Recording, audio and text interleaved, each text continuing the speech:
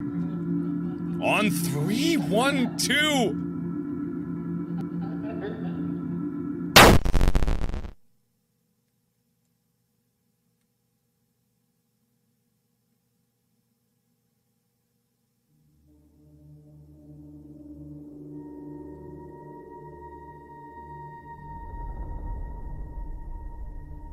Was that the bite of 87?